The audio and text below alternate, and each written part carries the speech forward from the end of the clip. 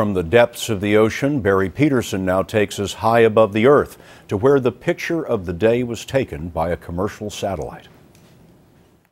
The image that has captivated the world was captured by this satellite, WorldView 2.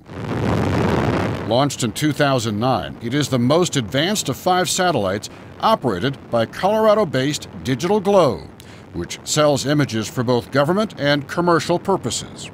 Many Digital Globe images have been put on a website where some 3 million users have looked for debris from Flight 370 to help with the search, a website designed by Shay Har-Noy, who spoke with us last week. They see little parts of the image and they're able to identify boats, oil slicks, areas with debris, or other anomalies in the imagery. Users did not find these images, the company said, but did help by searching and thus eliminating other parts of the Indian Ocean. But website users did help find this crashed plane in Idaho in January that led searchers to recover the body.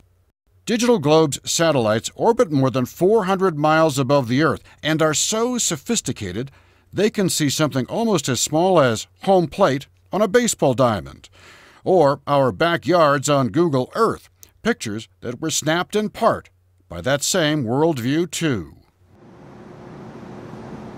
The sophistication of the satellite, Scott, is now stymied by Mother Nature. They cannot see through that cloud cover that Lee talked about a moment ago. Their next hope for a good look, maybe not until Friday. Barry, thanks.